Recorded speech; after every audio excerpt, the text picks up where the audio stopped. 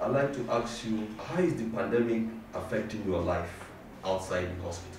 To be honest, it is stressful for everybody, for myself and my family. It's, it's like you're at war. Your families must understand that during wartime, certain people will be at the war front. How many days have you gone without meeting your family? During the first, pand- I mean, first phase of a wave of the pandemic, it was like I was totally cut off for the first six, seven months. But during the second wave, of course, there, there are lots of things. My engagement now changed. My role and engagement changed to some extent. So I'm able to see them often. Do you get enough sleep? Big question.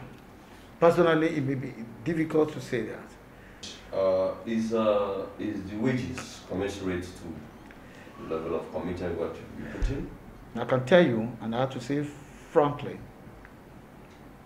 the compensations the government is giving to healthcare workers is abysmally poor.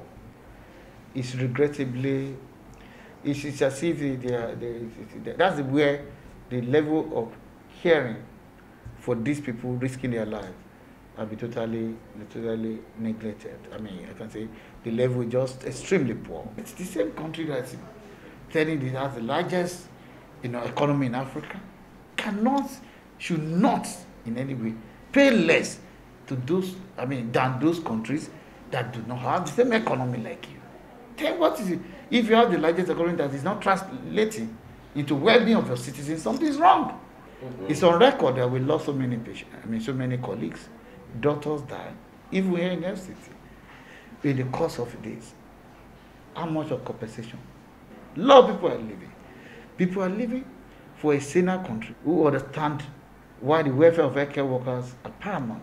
Do people still believe that uh, this, this virus does not exist as in COVID-19? That's a, that's a question. Yes, I would say yes. Some ignorant people ignorantly are still denying, not that they don't, want to that are denying that uh, the virus does not exist. And that to me, it is there it's as a result of so many factors.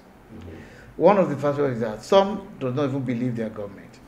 So whatever government is telling them, because of the social media things and this, possibly that's responsible. In so many groups, I equally not helping the matter.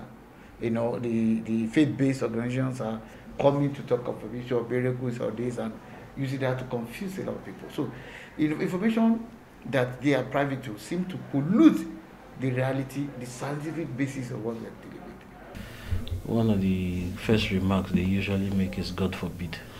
It's not my portion. And all that, yes. It's nobody's portion to have heart failure. It's nobody's portion to have uh, cancer. You understand? This is even uh, easily acquired than all those ones. You understand? This is we're in a pandemic. It's an infectious disease. Anybody can get it. You understand?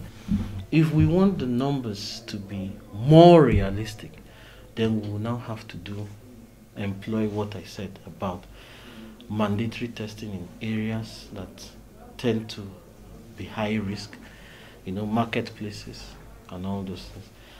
How many marketplaces have they come to ever say, okay, come all of you? You see, so everybody is doing what? Coming to the hospitals to get tested.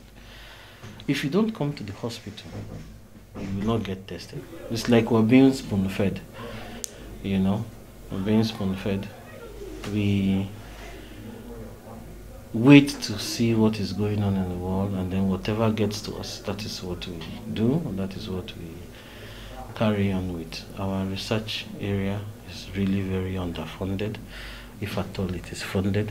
I don't feel very safe at all. Yeah, I don't feel very safe at all. We are lucky this pandemic. I mean, the, the, we we have not recorded so much death like in Europe and America and other parts. Another one may suddenly come, and it could just be for Africa. They must engage, you know, well-meaning Nigerians, intelligent Nigerians to dr- drive the care, you know, deliveries in Nigeria.